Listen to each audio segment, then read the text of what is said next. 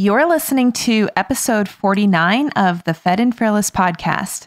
On today's episode, I'm speaking with Kari Natwick about the gut brain connection and how your gut health impacts your brain health. So stay tuned. Hi, I'm Laura Schoenfeld. I'm a registered dietitian and coach trained in functional medicine with a passion for helping women just like you Ditch perfectionism and use food, fitness, and self care to fuel your bigger God given purpose. I believe that it's possible to achieve your biggest life changing goals without the frustration, obsession, or negative self talk that so many women subject themselves to every day. All you need are the right tools, the right mindset, and the faith to turn your dreams into reality. I'm here to guide you along the way. The truth is that you are so much more than a body. And I'm on a mission to help you change the way you think and act at a core beliefs level so you can transform your physical, mental, and spiritual health from the inside out. Are you ready to become fed and fearless in your pursuit of a healthy, meaningful life? Welcome to the Fed and Fearless podcast.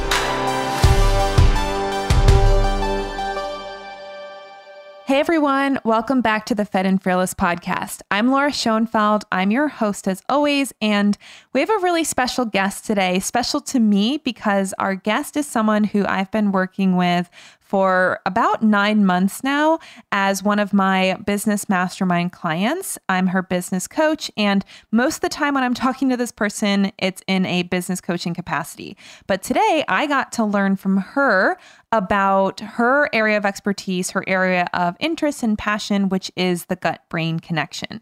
So I'm very, very happy to have with us today Kari Natwick. Kari is a registered dietitian nutritionist and an integrative and functional nutrition certified practitioner. She uses an integrative and functional nutrition model in working with patients and specializes in gastrointestinal related disorders and eating disorders. She's trained in intuitive eating, she's trauma informed, and she incorporates mindfulness based approaches into her patients' care. She's also the proud mother of a 10 year old son named Levi, who, fun fact, has the same name as my dog. And Levi has dyslexia and dysgraphia. In her free time, she can be found in nature, walking her dog Timber, hiking, snowshoeing, backpacking, and paddleboarding. She has enjoyed traveling internationally for over 20 years and has ventured to Europe, Southeast Asia, and South America. She's also a master gardener and places a tremendous value on the vital connection between the land and our health. Kari is one of my favorite clients partially because she's so sweet and so fun and so kind, but also partially because I just love how diverse her interests are. And it's been really, really cool to be able to watch her over the past nine months get more focused in her interests. And I am just really excited for you guys to get to learn from her about the gut brain connection, which is the topic that she has really been focusing on with her clients and the business that she's building. And she's just got so much wisdom and knowledge to share about all the different ways that your gut and your brain can be connected and intertwined, and the different methods for improving the gut brain axis and making sure that not only your gut is being taken care of, but also that your brain is part of the equation as well. So it's a really interesting conversation that we have. Super pumped to have her on the show. And I can't wait for you to get to know her and get to hear her expertise. So without further ado, here is Kari Natwick. All right, everybody. I am so excited to have with me on the show today Kari Natwick. Welcome to the show, Kari. Thanks, Laura. I'm super excited to be here. Thank you so much for having me on. I have the pleasure of talking with Kari at least once a month because she is in my mastermind for nutrition business owners. And I'm just super excited to finally be having her on the show to share her expertise around gut health and how gut health affects the brain and all the stuff that she has so much knowledge on. And it's just really been awesome to see not only her business explode because she's so good at what she does, but also uh, just how clear she's gotten on what she is passionate about. So I'm excited that she's here to share it with you because I know that she's got a lot of wisdom to share and uh, has a lot of interesting knowledge on gut health and all the different things that, that can affect it. So just for anyone that doesn't know you, that is one of our listeners, I'd love to hear your story and specifically what led you to become so passionate about gut health and the influence of gut health on brain health. Yeah, absolutely. So, and before I start, Laura, I have to put in a plug for what an amazing business coach you are. You it's because of your help and your guidance and your wisdom and your patience with me that I feel like I, I'm really able to pursue my passions as a dietitian and really got clear with myself about this passion of gut health and especially the gut brain um, connection. So I, I just want to put in a plug for you. You're amazing. so thank you so much. Um, yeah, so I have, you know, I've been a dietitian for 20 years, and you know, without me really realizing it at the time, when I got married to my husband, um, he had IBS. But like so many people who have IBS, it, he had lived with it for so long. He had seen multiple doctors, and he he just thought that it was just something that just was like he just had to he just kind of had to roll with it in his life. And so he and I have been together for like 13 years now, and it wasn't until the last five years when I started doing more intensive study in integrative and functional nutrition and medicine that I started to learn more about the health of the gut and how people who suffer from things like IBS or that all of these different health conditions, anything connected to, for example, autoimmune conditions or even anxiety and depression. I mean, people who have IBD or inflammatory bowel disease, people who have reflux, the gut is connected to so much. It's it's really the seat of our health. It's like the most important component that really dictates who we are in terms of being a healthy person. And so, through this study of integrative and functional nutrition, learning about gut health, um, you know, I was finally able to, as a dietitian, be able to help my husband who had been struggling with, you know, IBS for, I don't know, probably 15 years at that point. And so that that really, you know, kind of launched me into a space where I started, like I said, learning more about how the gut is connected to so many of the different systems in our body, how it's really really the seat of so many of the different components of um, who we are in terms of our health. And um, and I just, you know, I just feel like it's the most important thing. So I'm like, I really want to help people with this. What is it about the gut brain connection that I mean, I know it's it's one of these things that I think the more you learn about it, it's like you just find out all of the different ways that the gut can affect your health. But what is it about the gut brain connection that creates that passion for you? So I think one of the main things is that what I see in my patients, in so many of my patients, they have they experience things like um, anxiety and depression, cognitive decline, memory issues, um, and people often think that there's something wrong with my brain. And what what like in the work that I've been able to do with my patients is that once you fix the gut, you can fix the brain. And you know, I think that people need to realize that this that our gut and our brain are constantly communicating through this bidirectional pathway called the gut brain axis.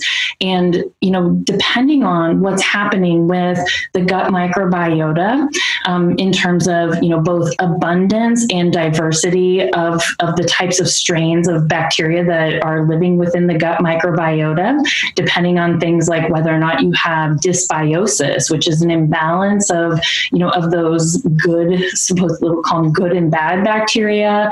Um, you know, all of those things can really impact our brain health.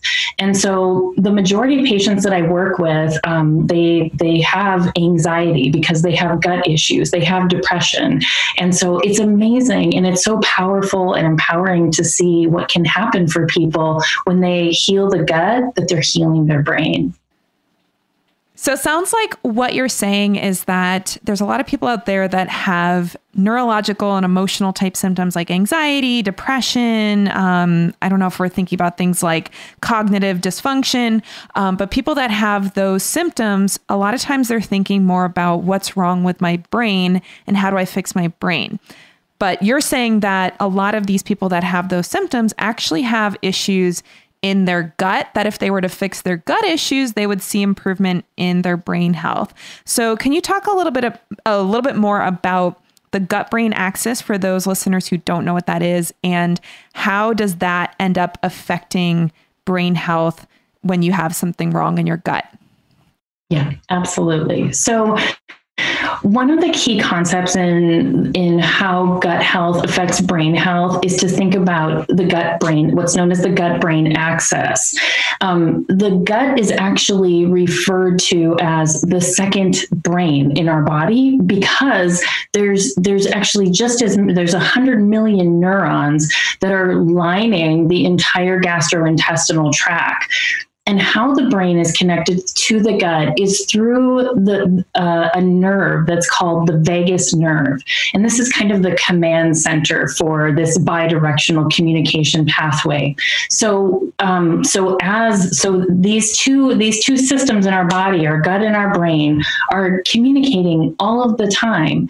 And so when when your gut when you either have you know um, damage that's done to the lining of the gut that results in something called intestinal permeability or leaky gut, or when you have dysbiosis, again, you know, not a not a, an abundance of these healthy microbes or a, a, you know a great diversity of these microbes in the gut. Um, what ends up ha- happening is that um, you'll start to see manifestations of how this imbalance in the gut will result in things like brain dysfunctions. The other key component to the connection between the gut brain axis is that many people think that the neurotransmitters that are that are involved with things like mood, like how we feel, so things like serotonin or neurotransmitters like GABA that promote that calm and relaxation. Many people think they're they're they're produced in the brain, but the fact of the matter is is that the majority of neurotransmitters, especially serotonin, is produced, which is that happy, feel good neuro, neurotransmitter is actually produced in the gut. So again, this the importance of having a healthy gut microbiota, having you know a healthy a healthy gut that um, where the the lining of the gut is intact, where you you don't suffer from things like leaky gut. Um, it's all going to impact the brain, and it's going to impact mood. It's going to impact memory, um, and you know, and even cognitive function.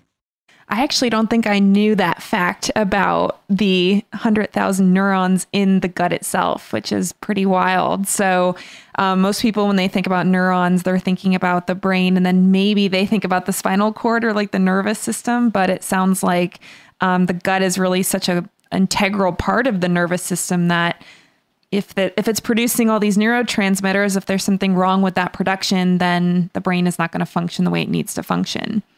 Yeah, absolutely. And that's where the enteric nervous system and the central nervous system, you know, they're really working, you know, side by side. And that, you know, that enteric nervous system that is, you know, it's housed within the entire, the entire gut. So um, yeah, they're they're really important. They, you know, they really kind of work in this like in this partnership. Mm-hmm. Now, I feel like when we talk about gut issues, a lot of times people are thinking about things like bloating, reflux, constipation, diarrhea, those more obvious gut symptoms. What if somebody doesn't have those symptoms? Is there anything they should be looking for to know that their gut still needs some attention? Absolutely. and again, this just kind of goes back to the thing I was saying at the beginning, which is that the gut is really the seat of our health.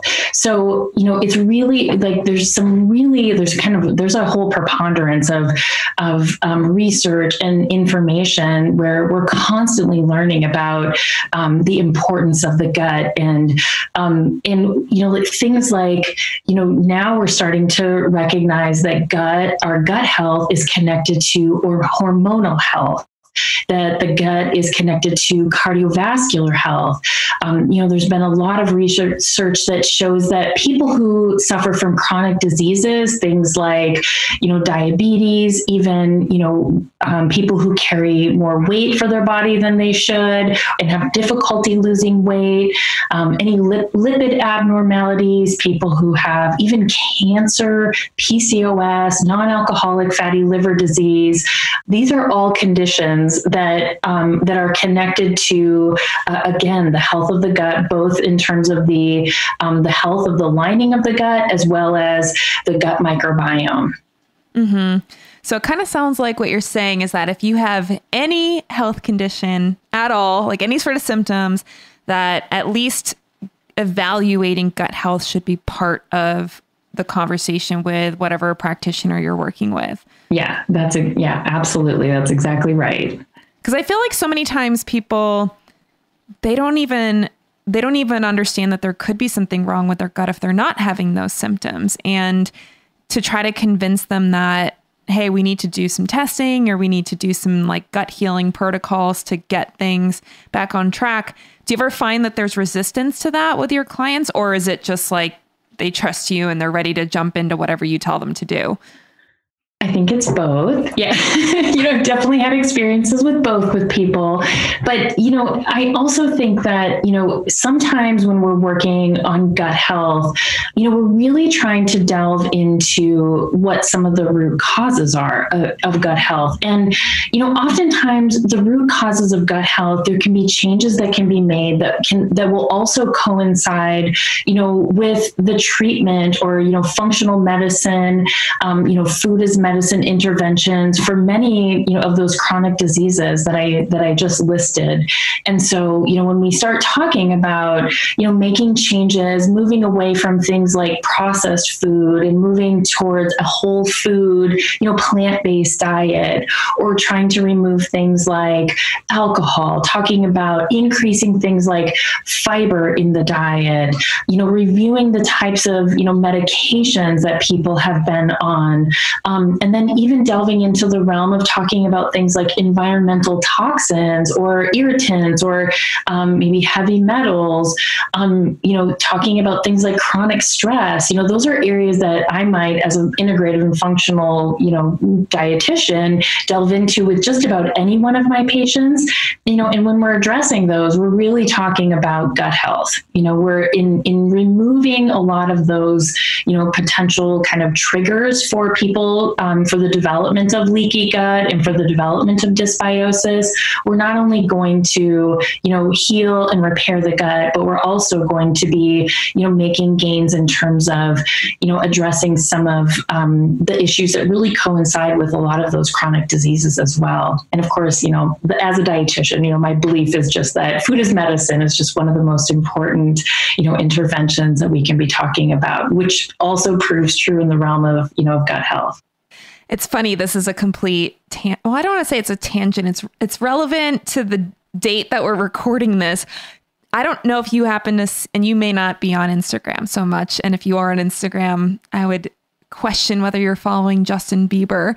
Um, but did you? did you? Have, no, actually, Laura, I'm not. Actually, you're not. Oh my gosh, you're not no, following Justin I'm not Bieber. following Justin Bieber. I'm on Instagram. I'm not following Justin Bieber. Well, and full disclosure, I am not either following Justin Bieber. But um, one of my friends had posted a he had put a post on Instagram. I think it was like in the last couple weeks where he said like the the post itself said that food is medicine and if you're experiencing things like anxiety or depression that you should maybe think about looking at your diet as being a, a part of the solution and there was this like big backlash because of course anything Justin Bieber says is probably like open open season. Um, but there was this really big backlash specifically from this one UK doctor who I've seen him talk a lot about um, he's kind of in the whole like health at every size, food access, uh, like not everybody can eat healthy food, so stop telling people to eat healthy or stop shaming people, which again, I don't think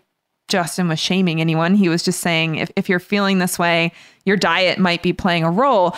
Um, but it was just this really interesting controversy because basically Justin got like blasted for saying that phrase that food is medicine. And I just think it's really interesting, especially in in 2020 where you know, we're dealing with this major health crisis and the more we find out about this crisis, the more we find out that this underlying general, you know, lack of health and a lot of these conditions that are actually caused by poor diet, which again, I'm not blaming anybody and saying, "Oh, you're, you know, you're a failure human because you're not eating well." We have a food environment that really pushes unhealthy food. It actually is is a a pretty big active um, rebellion to be eating a healthy diet. I just think it's really interesting that there is this controversy over the phrase food as medicine. So, do you have any thoughts about that? I know I didn't really I didn't prepare you for that question, but you just made me think of that Justin Bieber issue and I was just like, dude, like lay off Justin. Like he didn't say go off your meds and eat fruit and vegetables or something. Yeah. He said maybe look at your diet if you're having these symptoms. What are your thoughts about that? Well, I think that there's it's it's really baffling to me that like you said in 2020 that people still don't make the connection between diet and chronic disease or that people don't make the connection between diet and, and gut health. I mean, again, just look at look at the literature you know look at the research it's it's just it's irrefutable this connection between what we put into our bodies and how our bodies views that as information and how it's you know it's directly connected to you know how we feel and how well our brain functions and how well our immune system functions and you know how well we're absorbing nutrients because of gut health and how you know what are what we weigh and chronic diseases that we develop. I mean there's just there's just so much information out there now that is is proven over and over again in research that i mean I, I don't really understand what it's about. When people, you know, are I, I don't know. I, I guess I just can't help but question whether or not the big pharma is behind things like that. Where, you know, in conventional medicine and in so many places in the world, it's like we look at the approach around, you know, treating chronic illness as a pill for every ill, when the majority of diseases that people are suffering from are chronic diseases that have interventions with through lifestyle, through what we eat, you know, how through how we regulate stress, through how much we're moving our bodies.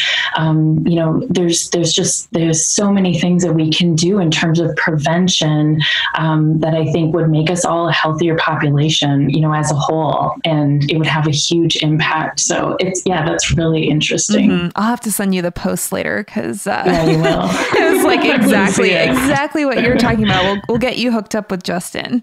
Um, yeah, let's do it. So you've mentioned mentioned you've mentioned a lot of different root causes that you look at when you're working with clients and I'm wondering if there's a couple that you could point out as being like the most important or maybe the the first places to look. Um, I know that it can be really complex and really um, individual. Obviously, everybody's got a different situation, yeah. different root cause. But are there any mm-hmm. are there any more common root causes that you see being pretty consistent across the people that you work with? Yeah. I mean, the first thing that occurs to me 100%, especially in the time of COVID, is stress. Like, I mean, everybody is so stressed out. I mean, I, I can just think of all of my mom friends who are now trying to work, working full time, working from home, you know, managing all of the passwords for their kids and trying to figure out schedules for, you know, online schooling as just one example of, you know, how our life, it feels like nobody is untouched in the realm of stress by this. And you know and so stress it has a huge impact on the gut. And you know one of the reasons or one of the ways that it does that is when we're stressed out our body goes into a sympathetic nervous state which is like that state of the of our autonomic nervous system where our body thinks we're being chased by a saber-toothed tiger. And one of the responses to that is that our body increases the production of cortisol. And cortisol it's a stress hormone. It's you know it's it serves a purpose as long long as we're not constantly producing it. But when we're under chronic states of stress, like most people are, and a cortisol can degrade the lining of, of the gut. It can also, you know, suppress the immune system. It's also one of those, um, it's also connected to things like, you know, it's a lipophilic hormone that causes deposition of fat around our midsections. Um, so, you know, this like this whole like, you know, COVID weight gain thing, you know, most of that, from my opinion, is really connected to, to stress for people. And so, you know, one of the big tools tools. Again, this is, you know, this can apply to, you know, people trying to manage chronic disease, but especially in the realm of gut health and is so connected to the gut brain axis, is teaching people tools for stress management.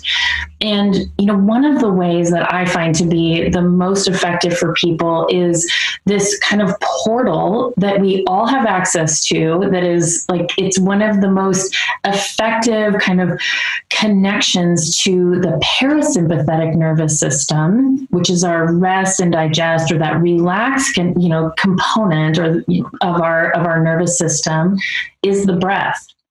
And so teaching people breath work, you know, teaching people how to create, you know, promote pauses in their day, um, learning how to use different breathing techniques. It's it's one of the easiest ways and, and, easy and i say easy but you know it truly is it's accessible to everybody to engage the parasympathetic nervous system and when that parasympathetic nervous system is engaged which is that rest and you know relax or the some people will call it the rest and digest component of our nervous system it's not only it, it not only has that impact on gut health by promoting you know a greater diversity it it doesn't promote any damage to the lining of our gut, but it also helps us when we're in that relaxed state, especially while we're eating. It will it will actually train our bodies to you know to actually upregulate and produce more of the supports that we need when we're eating meals. So things like hydrochloric acid production, things like pancreatic enzymes, even bile, you know those those digestive supports that are so important and critical for helping us digest our food and break down our food are increased when we're in a relaxed state prior to eating food. Um, and when we're in a relaxed state, there's really interesting research too that shows us that we actually we actually mine or harvest more of the nutrients from our food. Um, and so it so really so managing stress is I think one of one of the biggest things that we can do. I think using breath is a really great tool that people can access, that we all have access to. Um, and then obviously, other things are going to be um, things that I like to talk to my patients about are just getting outside, you know, just connecting to nature. It's one of the, again, a very simple yet powerful strategy for, you know, reducing stress. Um, having exposure to natural light is also huge. And I've spent, you know, many years of my life living in Alaska. And, you know, oddly enough, so many of my offices when I lived in Alaska didn't have windows and it was awful. It was like one of the most health degrading kind of moments of my life. So I could truly understand like the impact that that not having access to natural light or not being intentional about that. I understand like what what kind of an impact that can have, um, you know, on on stress and just our overall um, overall sense of well being and and our health. And then of course, you know, there's so many other tools. Things like you know, oftentimes patients that I work with, we talk about even mindset shifts you know, time management, um, you know, strategies, um, you know, just helping people feel like they're in charge of their life. And again, all of these components are so, you know, deeply tied to our, you know, to health and to gut health. Mm-hmm. Gosh, I'm trying to imagine because I know Alaska is like you get into phases of the year where it's dark for almost the whole day. Yes. How many hours of the day would it be the darkest? Um, well, in certain places, like if you get up north of the Arctic Circle, you it can be dark for three months out of the year, which, which, is completely in, insane. I mean, just like it's it definitely requires. I, I, mean, I'm always in awe of people that are able to live in those conditions. But where I lived, I was living in Southeast Alaska um, for you know on and off for like ten years, fifteen years. Um, you know, the longest the, or the shortest day was a four hour, you know, kind of like uh, low on the horizon sun. It almost felt like dusk most of the day at winter solstice. And so we'd see the, see the sun kind of rise and go from like between mountain peak to mountain peak, and then it would be gone again. And then we'd be in like dusk and dark for the majority of the day. So you, you know, people that live in Alaska and most, many of my patients live in Alaska, we talk about strategies of really planning your day and planning your time around getting outside when it's when you can have access to natural light because it's it's really important for um, signaling to your body for you know hormonal balance for you know sleep and circadian rhythm balance. So i don't i don't know if i could handle that. I'm very like I have um there's this concept called chronotypes and there's four different chronotypes. Um and one of them is the most common, it's the one that's based on the light and dark cycles, more of the, you know, active during the day. You're not really a night owl, but you're not really like a er, early bird either. You're really like peak energy during the middle of the day and I don't think I could handle no. a 4-hour window of partial light, I think I would go crazy. It's so. rough. I think one of the best strategies is just booking a plane ticket and getting out of there for a while. Go, go fly to Yeah, I was gonna say Hawaii. so, um, so this is gonna be a little bit of a left turn, but something that I know you're super passionate about. And actually, I remember at our mastermind event, you were talking with some of the other women a lot about this, so I know that you're passionate about it and it's something that I don't I don't think gets talked about very often. And that's the connection between health and especially gut health and trauma. So I know that you are trauma informed in the work that you do. Can you talk a little bit about what does it mean to be trauma informed as a dietitian and why is that so important when you're working with someone with gut issues? Yeah. So what trauma informed means is that I, you know, first of all, have had training as a um, just in in the field of trauma and you know what impacts trauma, what causes trauma. Um, I've also done work with the Center for Mind Body Medicine, um, you know, where we we learned a lot about um, trauma and the impact on the brain, which of course is connected to the gut, right? Um, and you know what, and what the Center for Mind mind body medicine does is they go to you know different places throughout the entire world. You know they've been in obviously like the middle east. You know for example they were down in sonoma county during all of the fires. And now i mean now there's more fires that are happening in that in the region of northern california. Um, they've been in israel. They've just they've been everywhere. And you know what they what they do is they use kind of like ancestral and tribal interventions for helping people work through trauma. And one of the one of the things that we know is that you know when you're when you experience a state of trauma or when you experience trauma your body goes into you know fight flight or freeze. And sometimes your your body can actually kind of get stuck in that state where like it your in your sympathetic nervous system for instance is kind of like the like the gas pedal is just on the floor all the time and you're always feeling like under stress or you can get stuck in freeze mode where all of a sudden you know you're you're you're kind of paralyzed in life. Like you you can't make decisions. You can't really like you have no motivation for moving forward. Um, and some people are are in that fight state where they're they're just always feeling like they having they're having to battle. And so you know what we know it, like through the work that has been done with dr jim, jim gordon is that there's a lot of in, you know a lot of knowledge and wisdom that we can draw from our ancestors on how to move trauma through the body.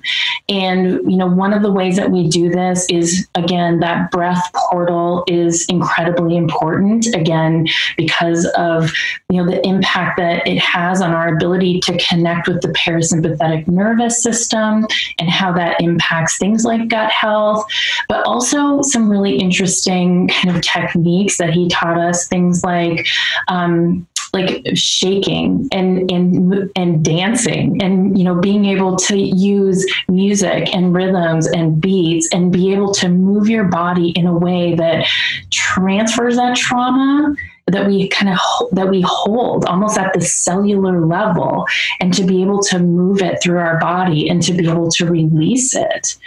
And you know it's interesting in the work that you know i do. I work with a lot of individuals who have eating disorders uh, you know for a lot of people with eating disorders there's a history of trauma that um, you know that can be part of the trigger to an eating disorder And um, one of the things that is, in terms of gut health, this kind of gut brain connection, one of the things that I often see is poor gut motility. And that's because when um, when people experience trauma, it can actually like cause almost damage that vagus nerve. So it can cause like a stasis or like a slowing of that vagus nerve. And when that vagus nerve is almost like paralyzed in a way, that connection between the gut and the brain goes away. So, you know, again, when we start eating, those that signaling around, you know, producing digestive support isn't there. The ability to move food through the gut, you know, it's like isn't there. So I so a lot of these patients have things like constipation.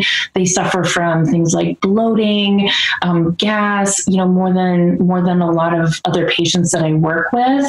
And so, you know, being able to really incorporate and integrate holistic services where, um, you know, where we're, well, first of all, that they have some kind of therapy, that they have access to their breath, that they're able to engage with their parasympathetic nervous system, um, that they're also maybe, you know, accessing other um, mind body modalities. So, you know, incorporating things like yoga and Tai Chi. Um, also, things like, you know, in like even even things like taking cold showers, you know, or doing like, you know, like cold plunges can really help to support and activate the vagus nerve. So there's a lot of different kind of modalities and, and strategies that, you know, we'll use with patients where, you know, there's that, you know, suspicion of just that kind of like that severing of that communication between the gut and the brain. Um, and then, of course, in conjunction with providing with the right support around trauma and, you know, helping them to, you know, come up with strategies for moving the trauma from their body, getting stored in their body at that cellular level and moving it through and being able to release it. It can be really, really powerful for people.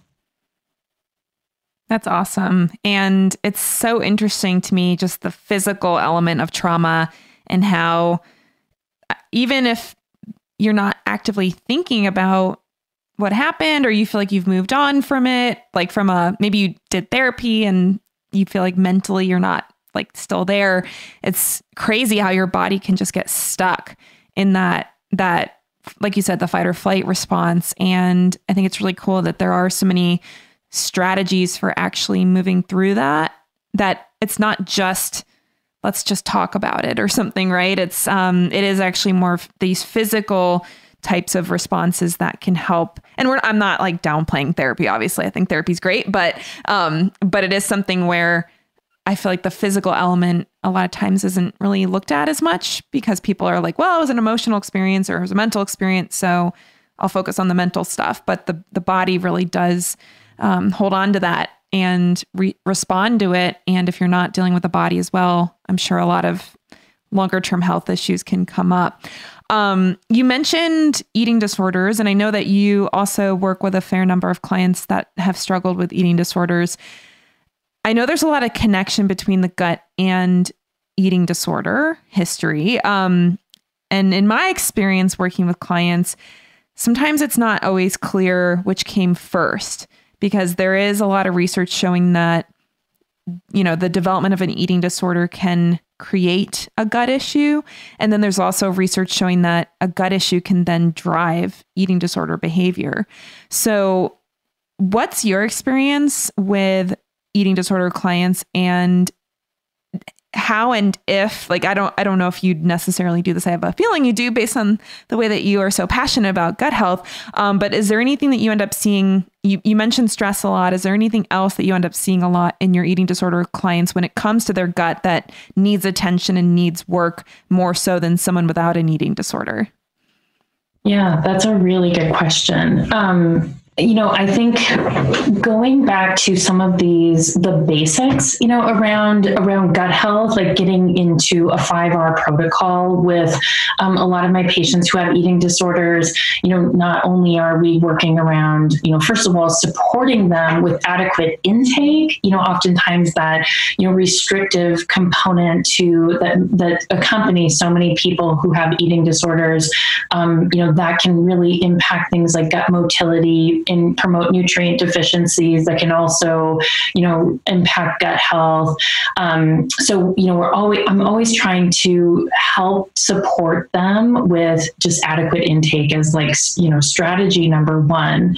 But then, you know, from there, there's, there's a lot of um, different, I don't know, um, interventions and techniques um, and, you know, sometimes really strategic, you know, food as medicine interventions that we'll utilize to help support them with repairing their gut and repairing that mucosal lining of the gut, also re-inoculating their gut, um, you know, with healthy microbes. And again, this is, you know, highly individualized depending on who the person is.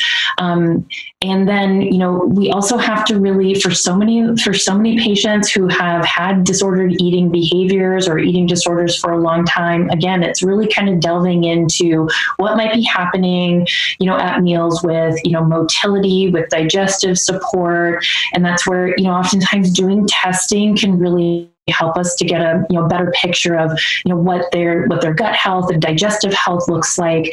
Um, and if they have like many many patients who have eating disorders have underlying SIBO as well or small intestinal bacterial overgrowth. So you know if that's not treated and like you said it's kind of this whole chicken and egg scenario of like which one came first. So if that's not treated then you know they're going to continue to have you know potentially horrible constipation and and bloating and they're not going to feel like eating and you know and you're just you're always kind of you know banging your head against the wall with just trying to move forward with treatment for both the gut and the eating disorder. So again you know using that kind of root cause analysis to under you know like discovering and pulling back the layers on you know what's really underlying this and then using it's through a very nuanced lens, lens of being able to work with both the gut issue and the eating disorder simultaneously. Mm-hmm. A couple minutes ago, you mentioned the 5R protocol. Can you take like a 30,000 foot view what that is so our audience knows what you're talking about? Oh yeah, uh, yeah. So the five R protocol, it's um, it's kind of one of the standard, I guess, in the world of you know integrative and functional medicine. It's like it's the standard approach that we use for um, treating gut issues. So, in the first R, hopefully I get these in the right order, is remove, and that remove can be removing you know a potential pathogenic um, you know source of gut dysfunction, things like you know bio you know bacteria, you know, candida, even things like H. pylori, fungal overgrowth, parasites. Um, so we're going to try and like remove whatever that, you know, unwanted, you know, pathogenic bacteria might be also in the in the remove you know phase of the 5r protocol we're also looking at removing foods that might be offensive um, or might be you know worsening your symptoms. So that might be foods that are you know high in fodmaps it might be gluten it might be lactose there's you know high sulfur foods there's a lot of different strategies that we that you know that would have to be personalized for somebody to really identify what you know potential food triggers might be for them the second R is the re-inoculate phase, where using you know supplement strategies or using you know food as medicine strategies, we're going to try to re-inoculate the gut and support the gut with you know the healthy bacteria. Those you know we're going to try and support the commensal bacteria, those bacteria that you know naturally reside and belong there. And in doing so, we're going to try to increase the diversity and the abundance of those bacteria. Um, third R is repair. So, you know, again, there's a lot of supplement strategies that can be used to help you repair the lining of the gut and to support healthy gut mucosa. Um, Fourth is replace. So we're going to replace things like motility agents, promote digestive support for people at mealtime so that they can break down food and um, and have you know fewer you know potentially you know fewer symptoms associated with you know foods that they're maybe you know not that are causing fermentation in the gut, for instance. And then the final R is the rebalance, or some people will say the relax, which is again, you know, the whole connection to managing and reducing stress, you know, that connection to the, you know, vagus nerve, um, you know, you know, supporting sleep, um, the use of things like potentially like adaptogens, supporting the HPAT axis. So, um, so it's just this really comprehensive, you know, approach to identify to, I guess, targeting and identifying like what somebody needs in each of these different aspects to support a healthy gut. Awesome. And earlier you were talking about how you got into the world of gut health and the experience that you had helping your husband get healthier. And um, before we hit record, we were talking about how you have a special passion for helping people with IBSD specifically.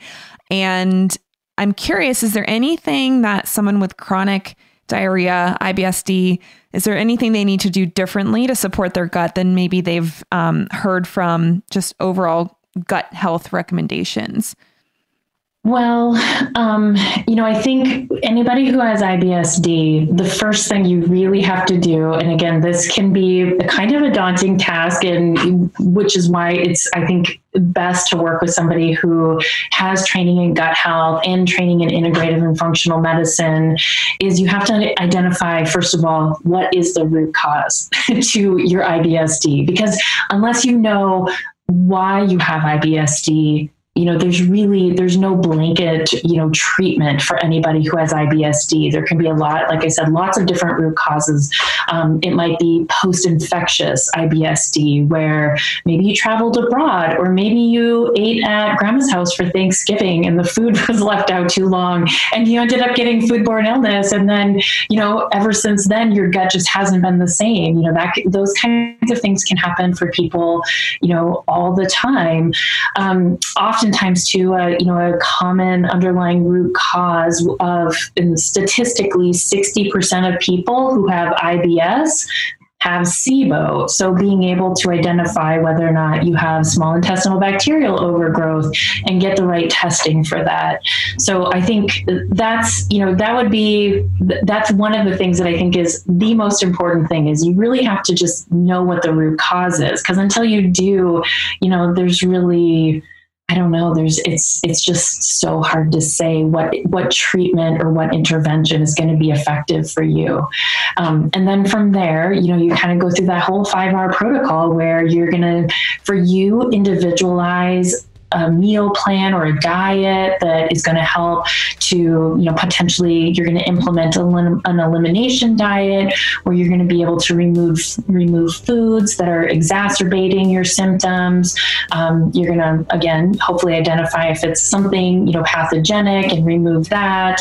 And then you kind of keep moving through that protocol where you're repairing your gut you're rehealing your gut you're re-inoculating your gut you know you're rebalancing everything in your, you know, with your nervous system, um, you know, identifying stress. Um, I think you know, it's just hard to say. There's not one thing that I would say if you have IBSD, this is the one thing that you need to do compared to anybody else, because there's literally, I could probably list 30 different root causes of IBSD right now.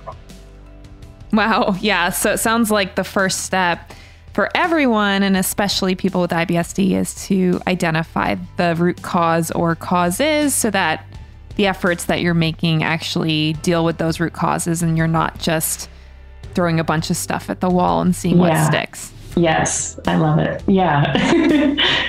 now, I know that you have a free um, gift for anyone who is dealing with IBSD. Do you want to tell them about that? Yeah. So if you go over to um, my website, which is gutbrainrd.com, um, I have a free a free gift for people. It's the five mistakes you're making with IBS, and so in that in that in that free gift, you're going to be able to learn five different things. One of you know that that a lot of people who have IBS are um, a lot of the mistakes that people have IBS are doing, and um, hopefully you'll be able to glean a few um, pearls from that, and hopefully it'll help move you along in your journey of um, recovering from from that because it's it's totally possible. You don't have to live with it. awesome. Well, we'll make sure that the link to that guide is in the show notes for this episode. And how else can people get in touch with you if they want to learn more about the work that you do or possibly become one of your clients? Yeah. So, like I said, my my website is gutbrainrd.com. You can also follow me on Instagram, which is gutbrainrd. Um, those are and those are probably the two best ways to get in touch with me. Awesome. Well, like I said, we'll put those links in the show notes. And luckily, Kari's got a pretty easy, memorable name Gut Brain RD. RD stands for Registered Dietitian. And um, thank you for coming on the show today, Kari. It was really awesome to get to chat with you about your knowledge and expertise around gut health and mental health and trauma and all the stuff that I know you're so passionate about. And um, it's nice to once in a while not just be talking about business stuff with you. Absolutely. It's nice to get Thank your you expertise so coming in my direction. I really enjoy yes. that. a little role reversal, right? Yeah. Thank you so much for having me, Laura. I really appreciate it. It's just been so fun to chat with you today. Yay. Well, thank you. And thanks all of you for spending this 45 minutes to an hour with me and Kari. And we will look forward to seeing you here next week on the Fed and Fearless podcast. Take care, everybody. Are you a dietitian or nutritionist business owner that wants to create an online business that attracts, converts, and serves your dream clients? Then keep listening because I have a special opportunity that will help you create the profitable, joy filled nutrition business that you always wanted. In my signature group coaching program, the Nutrition Business Accelerator, you'll learn how to start, grow, and scale your online nutrition business to six figures and beyond so you can experience the financial and time freedom that you desire. Inside the program, you'll learn how to attract high paying clients who are excited to work with you and willing to pay you the rates you deserve. You'll get training on how to effectively sell your services in a way that feels authentic and converts prospects into paying clients without feeling pushy or salesy. And you'll get step by step instructions on how to create programs and services that provide transformative results, leading to glowing testimonials and referrals from your current clients so you can have the greater impact that you desire in the world around you. You'll also learn how to manage your time, energy, and resources so you can get more done in less time and experience the time freedom that you started your business to experience. Want to make this your reality? The Nutrition Business Accelerator is your pathway to achieve all of this and more. Get the proven strategy that has helped dozens of business owners grow their online nutrition business to 5 and $10,000 months and beyond. Inside the program, you'll get mentorship and guidance from me, a compassionate coach who's built her own multi six figure online nutrition business. So that way, you never have to feel stuck in your business again. I created this program to help struggling dietitian and nutrition entrepreneurs get clarity on who they serve, how they serve them, and how they can stand out in a crowded market so they can more easily attract dream high paying clients into their online nutrition business. If this sounds like something you're interested in, go to lauraschoenfeldrd.com forward slash NBA to learn more about the program and get on the waitlist. That's lauraschoenfeldrd.com forward slash NBA, which is short for Nutrition Business Accelerator. Doors are opening soon, and you don't want to miss out on this one of a kind business coaching opportunity. Let's accelerate your nutrition business together. I'll see you in the program.